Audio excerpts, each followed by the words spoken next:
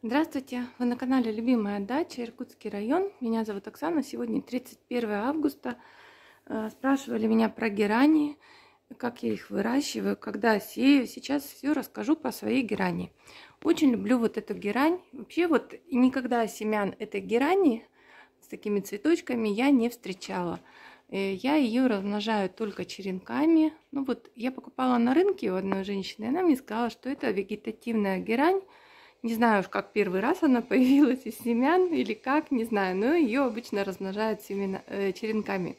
И вот этот горшок я заношу в дом на зиму, обрезаю, чтобы он ну, не сыпался мусор, то есть цветы убираю, просто не дают цвести. И сохраняю зимой. Весной черенкую. Но для того, чтобы герань начеренковать, ее очень легко начеренковать, она хорошо укореняется. Нужно все-таки, чтобы, если вам растений надо много, чтобы кустик был пышный. Если у него один такой ствол и нет больше ответвлений, то черенков будет достаточно немного. Это герань ампельная, такая не спадающая. Цветы у нее ярко такого розового цвета. Ну вот я как понимаю, это называется цвет черри. У меня были еще вот такие же герани э, оранжевого цвета. Но цвет мне не понравился, я их не стала заносить в дом. И листики у нее немножко другие. Я сейчас покажу еще другую ампельную геранью. Это листья такие очень кожистые, жесткие, глянцевые, красивые. Вот я ее черенковала маленькими череночками. Горшочек маленький. Чем больше горшок, тем больше будет растение. Здесь у меня горшочки на водосточных трубах. И с этой стороны дома я вот повесила два таких горшка. С другой стороны дома у меня другие герани растут. Ну, то есть, если вы захотите, можно просто занести в дом весь этот горшок, либо пересадить растение в горшок побольше, убрать лишнее соцветие, укоротить и до весны дома так ее продержать. И еще есть у меня ампельные герани, но они другие. Видите, уже цветочки совсем другие у них. Сейчас покажу еще белую. Вот такие цветочки. И листики э, с коричневыми пятнышками, с коричневой серединкой. И эти листики, они не настолько плотные, они как-то, ну вот на ощупь они другие, хотя тоже такие глянцевые. Мне тоже очень нравится эта герань. Вот эти герани я сеяла семенами. Я их не сохраняю, потому что места у меня столько нет в квартире, а в доме очень темно. Но и мы приезжаем в дом сюда только по выходным, в основном зимой. Поэтому, ну, в общем, не получается много герани сохранять, только ту вегетативную, которую нельзя посеять семенами. Вот эти семена, это я покупала в биотехнике тоже. Семена дорогие, сразу скажу. Поэтому, если есть возможность, лучше занести растения в дом пышно и черенковать потом. Э, в биотехнике вот это конкретно сорт Rich Out называется. Rich Out белая, а та Rich Out красная. Цветет хорошо, неприхотливая, сеяла семенами я в январе. И еще у меня много зональной герани.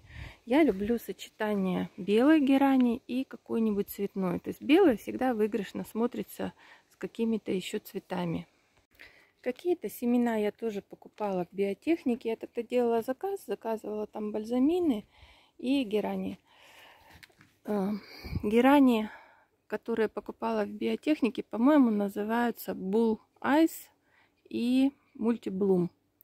Белая герань называется Альба. Вот такая. Ну, можно купить в обычных садовых магазинах. Они, в общем-то, сильно ничем не отличаются. Я покупала и какой-то сорт мефиста, по-моему, не от биотехники, и от биотехники мефиста покупала. Мефиста это с коричневыми листиками. Я сейчас покажу в другом месте, она у меня. Все герани очень хорошо, пышно цветут вот в таких кашпов, в горшках. Я просто насыпаю сюда землю, без всяких удобрений, без всего. Мульчирую сверху скошенной травой. И подкармливаю раза два-три за сезон разведенным удобрением для цветов акварин.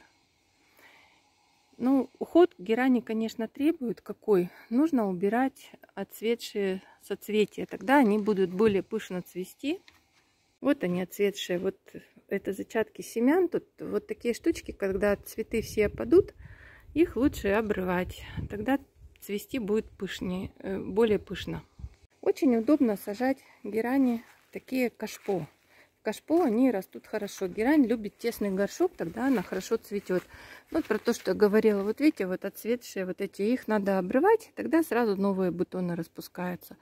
То есть э, уход есть, но он не настолько большой. Вот это вот как раз сорт Мефисто с такими шоколадными красивыми листьями. Значит, убираем отцветшие соцветия, иногда подкармливаем и стараемся не заливать. То есть, если идут дожди, поливать герани тогда совсем не надо. То есть, они будут расти сами по себе. Вот как раз я нашла то, что надо оборвать.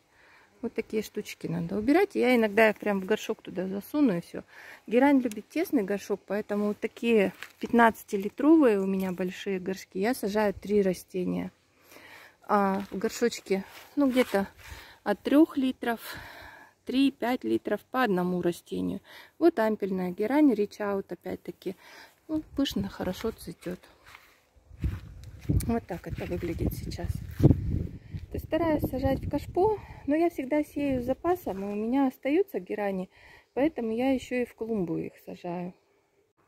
Здесь на водосточной трубе у меня вот эта вегетативная герань. Еще раз скажу, что я покупала на рынке и потом черенковала. И белый цвет всегда выигрышно смотрится с каким-нибудь еще цветом.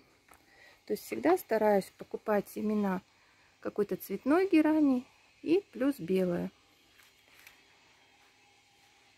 Я вот уже говорила, что очень люблю э, бальзамины и герани тоже очень люблю. И на последнем месте у меня петуни, потому что за ними нужен постоянный уход.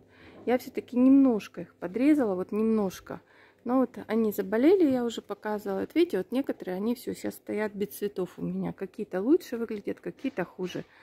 Герани у меня никогда ничем не болеют. Ну вот, бывают желтые листики, которые надо убрать. И все.